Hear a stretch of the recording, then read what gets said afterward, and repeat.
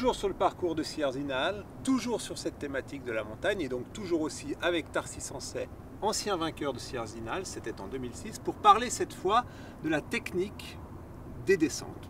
Comment aborder les descentes? Quelle est la bonne technique? À la fois pour pas mourir et à la fois pour être efficace, Tarsis.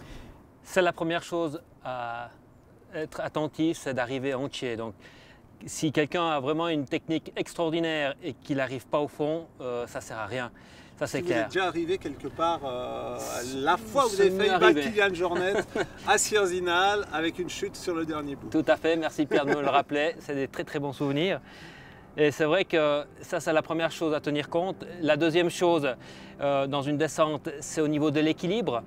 Euh, de façon à avoir notre, notre point de centre de gravité le plus bas possible, de façon à pouvoir euh, euh, être plus efficace, plus proche du sol, sans aller trop près du sol quand même, et puis d'avoir une bonne chaussure qui est très importante, avec de bons cramponnages, de façon à ce que si c'est un petit peu glissant, le pied tienne bien quand même.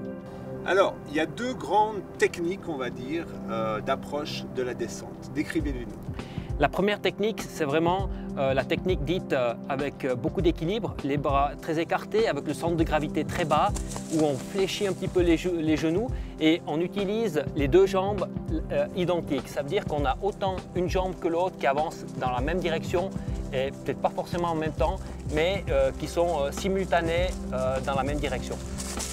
Et il y a la deuxième technique, c'est la technique avec une jambe en avant. C'est souvent la jambe la plus forte avec un sorte de petit sautier. Chacun doit trouver sa technique euh, qui, lui convient le mieux. Euh, je crois que l'idéal, c'est de pouvoir courir de façon à, se, sentir à l'aise, sans euh, se blesser d'une part, et puis d'être le plus efficace possible.